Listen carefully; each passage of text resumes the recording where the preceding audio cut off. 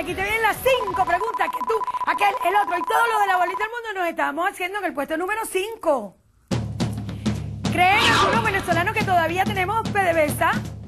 Después del manotón, donde este destructor gobierno le metió mano a la estatal petrolera, pasándose por el arco del triunfo cualquier sistema de contabilidad o controles, convirtiéndola en la primera caja chica de El Supremo. ¿Habrá venezolano que todavía crea que Venezuela es de todo?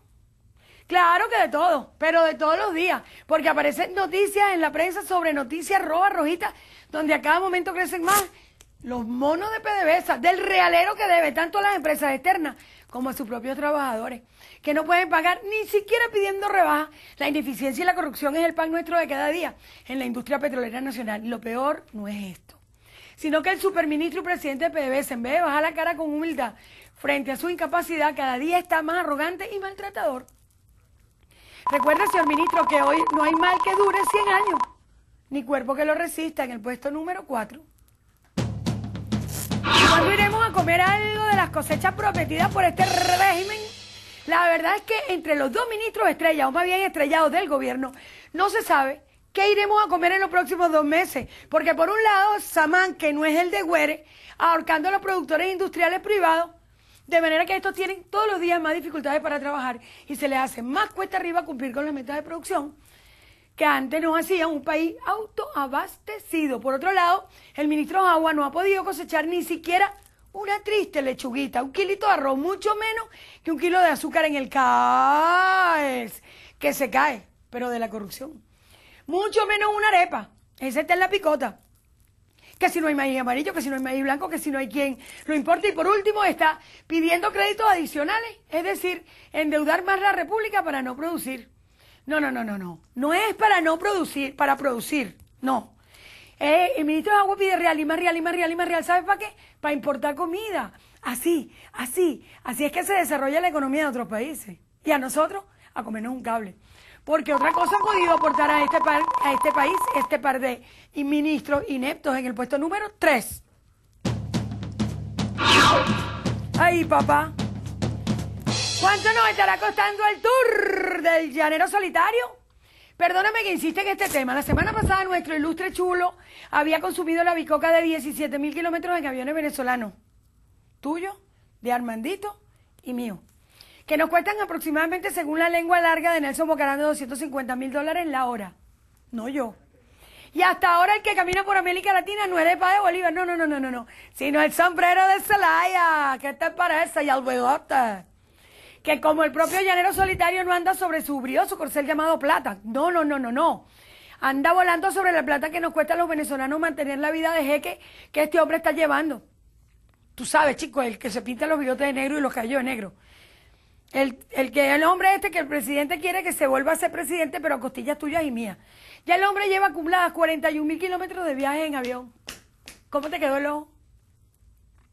Ya le falta poco para igualar a Cantinflas en su vuelta al mundo en 80 días. Bueno, ¿qué te puedo decir del viajero y del Paganini incansable que tenemos como presidente? Donde primero está él, segundo está él, tercero está él y quién sabe dónde fue que dejó el caballo en Honduras, es verdad. Él sabe que eso no le sirve para obtener votos, él cree, pero bueno, en el puesto número dos. ¿Quién no de frente, de frente a Lampa? La verdad que la situación del venezolano de hoy día es envidiable por la templanza y el coraje que tiene cuando los venezolanos hablan todos los días a trabajar, encomendándose a la Virgencita del Carmen, patrona de Curiepe, encomendándose a la Chinita, patrona del alma de todos nosotros o de la Virgen del Valle, que no es nada más el loñero. Ninguno de nosotros está seguro de retornar con vida a casa. Y pese a los anuncios del ministro al Alzheimer, perdón, Alzheimer, de tanta muela barata, de supuestos planes de seguridad, aquí la gente siente que lo único seguro es el atraco o la muerte. Y lo más triste es ver todos los días en las noticias el alto índice de funcionarios policiales delincuentes, embarrados con estos hechos delictivos. Y por eso nos preguntamos, ¿quién nos defenderá en frente a Lampa? ¿El Chapulín Colorado? ¿O cualquier otro menos los que deberían defendernos? Así que Dios nos agarre confesado, así, así, así es que se gobierna con, con mano dura, pero para el pueblo, porque el crimen, como no paga, anda como siempre con el moño suelto en el puesto número uno. ¿A qué le tiene miedo Chávez? ¿Tú te acuerdas cuando el presidente Chávez, guapo y apoyado, dijo que iba a acompañar a Zelaya en aquel viaje a Honduras que nunca hizo? Porque a Zelaya, en lo que pisara tierra hondureña a mí, le iban a poner los ganchos. Y él decía que había un francotirador. Debe ser que se fue de la zorra para allá, para, El Salvador. Y después se fue para Tegucigalpa.